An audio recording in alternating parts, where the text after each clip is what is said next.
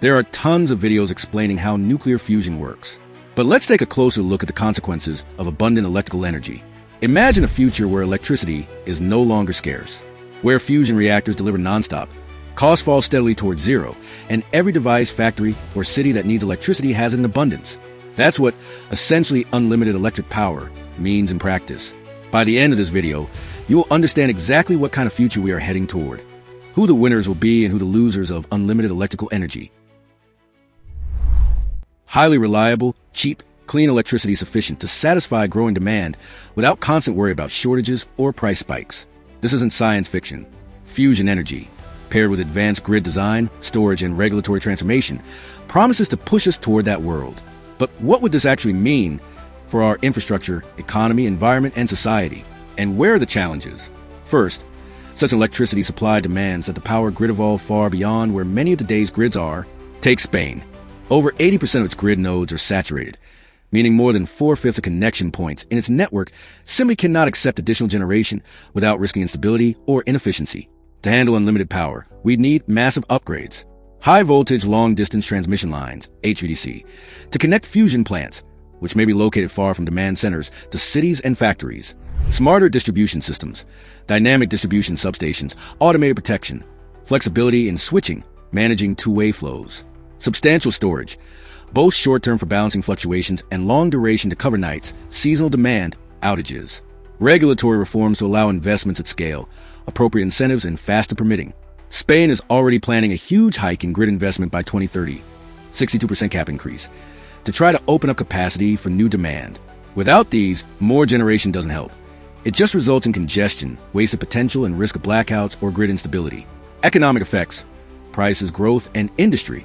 If electricity becomes abundant and cheap, household and industrial electricity bills would drop, especially where generation and supply margins are large. This frees up income for consumers and reduces operating costs for businesses. Lower energy costs could unlock growth in energy intensive industries. Steel, cement, chemicals, synthetic fuels, and data centers for AI and computation. Investment in new types of infrastructure becomes more viable. Labor markets could shift. Higher demand for jobs in energy infrastructure, manufacturing, maintenance, and perhaps less for jobs in fossil fuel extraction or inefficient legacy plants. Wages may rise in some sectors. Consumer savings could expand spending elsewhere. Yet, gains are not automatic. Who owns or regulates the fusion plants? How the savings are passed consumers, and what policies, taxes, subsidies, contracts are in place will determine whether costs fall evenly or benefits get captured unevenly. Environmental and climate implications. Unlimited power from clean sources like fusion could be transformative for climate. If fusion displaces coal, gas, and oil, greenhouse gas emissions drop dramatically. That could help meet climate targets and allow large scale deployment of carbon removal technologies, green hydrogen, desalination, etc. But there are trade offs. To build lots of reactors, you need materials that can withstand neutron bombardment, high heat loads, and harsh conditions. Things like the reactor first wall, divertors, blankets must be replaced, and current material science research is still working on durability, embrittlement, transmutation. More power usage also means more demand for raw materials, land, cooling water, and possibly ecological disruption if infrastructure is sited poorly. Without careful environmental planning, some of the externalities could outweigh some benefits. But power abundance doesn't automatically mean fair power. Urban centers in wealthy countries will likely benefit first. Remote or rural areas may lag behind due to lack of infrastructure investment. Countries currently dependent on fossil fuel exports may lose revenue and political influence, and their workers may face disruption. On the flip side, countries that adopt fusion early may gain energy independence and strategic advantage. Access, affordability, and reliability will become major equity issues. Policymakers will need to ensure that power savings reach ordinary households, not just industries or large consumers.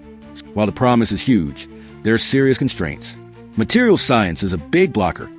Reactor materials must survive very high neutron flux, helium embrittlement, radiation damage, etc. Current research shows progress, but also indicates significant uncertainty in component lifetime. Long-term research and design strategies for fusion energy materials has to be done.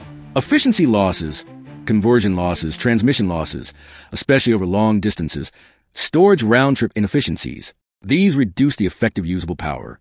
Grid instability, managing peaks, surges, unexpected loads, ensuring frequency and voltage control. Even renewables already challenge grids with intermittency. Fusion may help, but only within a system designed for flexibility. Regulatory and political. Policies often lag behind technology. Market designs built around scarcity or fossil fuel, incumbents may resist change.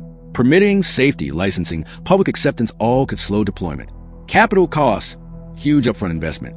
A fusion pilot plant in Germany by 2035, built by Focused Energy, RWE, and Hesa, is estimated at 5 to 7 billion euros.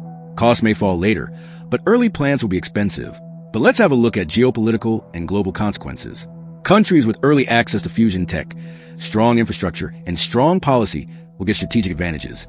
Energy independence, industrial advantage, export potential in fusion relevant supply chains.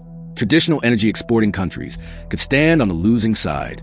They will face economic shift concerning global trade patterns in energy, raw materials, and technology.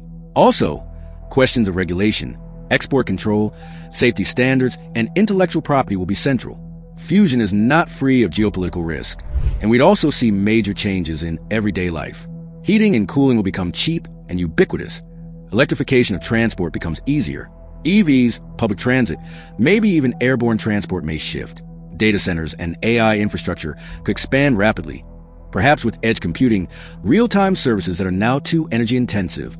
Industries like desalination, synthetic fuel production, large-scale carbon capture, large-scale water pumping become viable at scale, leading to the solution of some of the most urgent problems of mankind. Indoor farming could become widespread, growing crops entirely in a controlled environment. Indoor farming uses hydroponics or aeroponics instead of soil, artificial lighting, typically LEDs, to replace sunlight or supplement it heavily, tight control over temperature, humidity, CO2, ventilation. The goals are year-round production consistency, high yields per square meter, proximity to consumers. It's appealing. Reduced transport, lower water use, ability to farm in places with bad climate or little arable land. But that control comes at a cost.